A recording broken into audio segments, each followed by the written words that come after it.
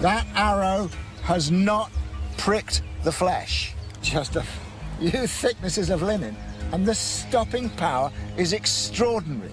Ben here is shooting a very, very powerful bow, 80 pounds draw weight with a heavy war arrow. Do your worst, Ben.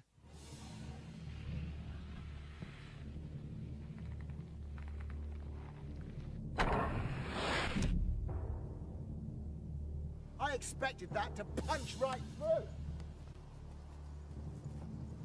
And it hasn't. It's penetrated, but it hasn't really penetrated that much. Certainly, one of the guys inside is bleeding, but he's not dead. That is remarkable stopping power. A first shot is equivalent to a range of about 80 metres. Happens. Yep. Three, two, one, go. It's made a dent, but I don't think that's penetrated. It's bounced out.